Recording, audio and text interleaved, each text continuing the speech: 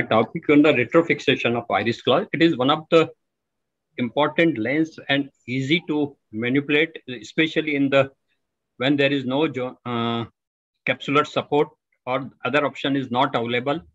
It is one of the easiest procedure which can be used in subluxation cataract and IOL once you remove the IOL, apart from glued IOL and scleral fixated IOL. So it is the advancement in technique and IOLs, good visual outcome is achieved in subluxated cataract and IOL. There are the multiple causes of the subluxation and dislocated IOLs, congenital, traumatic, metabolic, consecutive. So decision regarding the surgical intervention as per the zonular desensitization. So there is a uh, nomogram which you can do whether it is three o'clock, five o'clock, say five to seven or more than, and according to you can plan CTR and everything. So my topic is only the uh, is iris claw. So I am going to cover only on that retrofixation of iris claw. It is one of the good lens designed by Jan Worst and then modified by Dr. Daljit Singh, which I am using since last 30 years. And it is one of the good option in extreme subluxation and compromised PC. Why iris claw? Easy to implant once you learn, less chances of secondary glaucoma, rate of dislocation is less, less endothelium, less loss. There are the multiple study on this.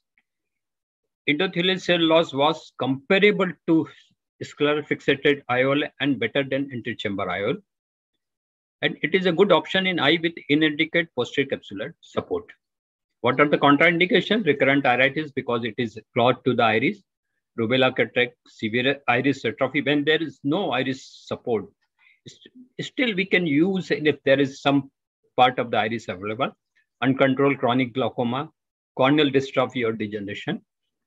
How you see that enclavation, haptic attached to the mid periphery, which is probably immobile iris. Normal vasculature and nerve supply will not interfere. Allow pupil unrestricted dilatation and constriction. It will be slightly elliptical.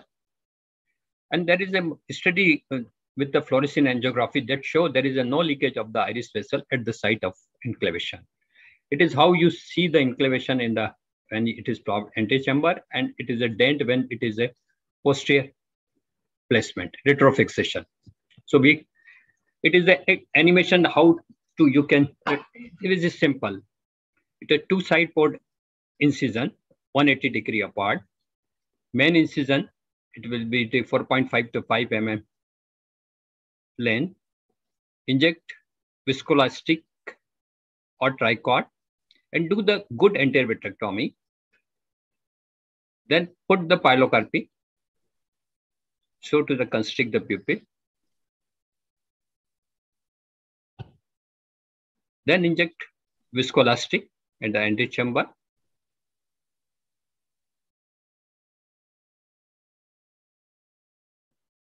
Then this is the claw lens. You can see there is a two claw 180 degree apart. Put directly from 90 degree and then rotate it horizontally with the two hooks. Once you place it the proper direction with the lens holding operation on that side of the claw, the important step is you have to hold firmly at this point here so that that enclavation is done completely. Again, re-inject the viscoelastic. There might be some leakage of the visco. Hold at the other side and firmly hold the lens so that it doesn't tilt. And you can see that how simple it is. So we move to the formula calculated. The best is the SRKT or Barrett's.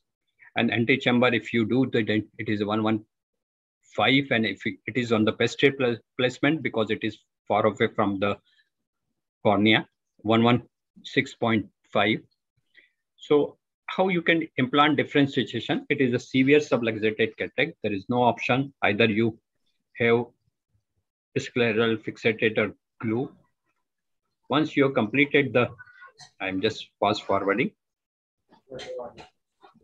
completed the lensectomy Put the pilocarpy.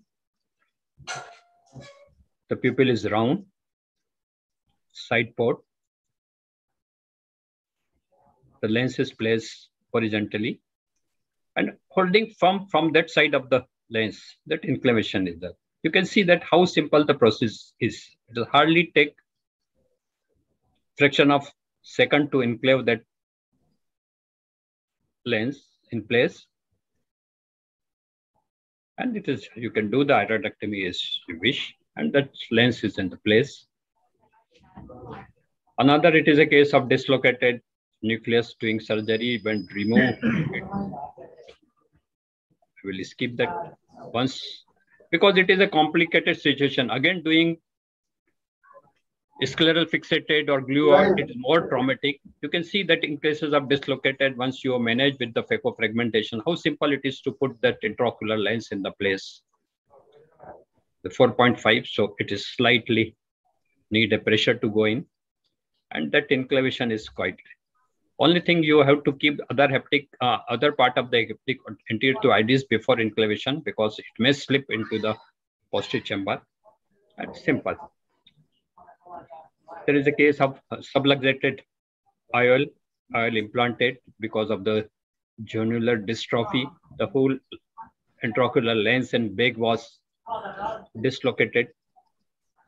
So there is no option. Either you have to use iris claw, glued IOL, remove this in toto, do the anterior, good anterior vitrectomy as I mentioned in the animation. And once you're done, put the pilocarpine, viscoelastic. So your complicated process is quite, made quite simple by putting the iris claw lenses. There's a hook. You can use a small thin lens hook also. Lens holding forceps. The only important point that you have to hold this lens firmly while enclavation. Many times it is feared that uh, this may lens dislocate because of the iris trophy. It is very rare. But advantage of that, whenever it dislocate, it is always there is a one side it inclinate and you can easily reinclavate. There is a dislocated from that left side.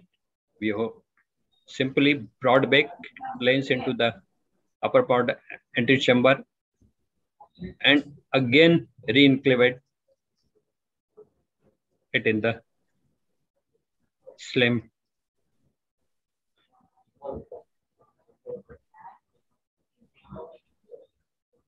same place. So enclavation is done. Washing is simple. Remove the viscoelastic. So in short, iris implantation is easy to implant, less lesser complication rate, and it gives the good visual treatment. And especially in severe zonular dialysis. Stay safe and healthy. Thank you. Thank you very much.